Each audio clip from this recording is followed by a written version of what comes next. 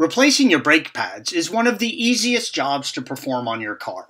In general, you should inspect your brake pads about every 10,000 miles and replace them if the material lining of the pad is worn down enough to trigger the pad replacement sensor or down to the wear bar indicator on the pad itself. In reality, most people don't inspect their pads very often and usually wait until they see the little brake pad warning light appear on the dashboard.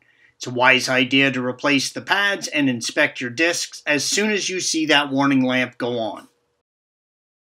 The brake pads are held in the calipers by two metal pins as indicated by the green arrows. Unplug the brake wear sensor connection by pulling it straight out of the harness as shown here. Use a drift as shown here to hammer out the two brake pad retaining pins out of the caliper as always, you should always be wearing eye protection whenever you work on your vehicle. Here, the pad retaining springs are underneath a bit of tension and can come flying out once you remove the pins. Shown here is the pad retaining spring, green arrow. Make sure you don't lose this unless a new one came with your set of pads. Now pull the brake pads out of the caliper as shown here.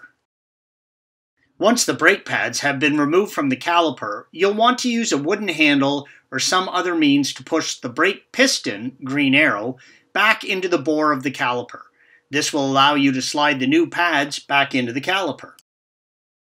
While you are doing this, you will be pushing brake fluid back up into the system, so continuously check the master cylinder reservoir so that it does not overflow. If you are changing the disc, loosen and remove the 5mm hex bolt that secures the brake wear sensor fixture to the caliper, green arrow. You'll need to remove this in order to unbolt the caliper from the hub.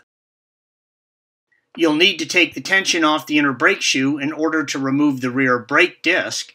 To access the adjusting screw, you'll need to rotate the disc until one of the holes for the lug bolts is at roughly 10 o'clock position as indicated by the green arrow.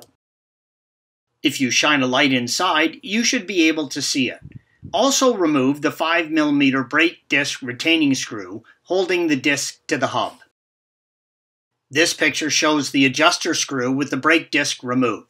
You'll need to turn the adjuster screw with a screwdriver in the direction of the green arrow in order to lessen the tension on the two parking brake shoes. Once the tension has been relieved, you can pull the brake disc off. This sometimes confuses people as they can't figure out why the rotor won't come off after removing the retaining screw. Place the new brake disc over the hub and secure it using new brake disc retaining screw as indicated by the green arrow. It also helps to place a dab of anti-seize compound on the threads of the screw. Refit the caliper to the wheel hub and torque the 19 millimeter bolts to 85 foot-pounds. Rotate the disc so you can access the adjuster screw inside with a small screwdriver and rotate the screw up to increase the tension on the shoes. From time to time, pull the screwdriver out and check and see if you can still turn the disc.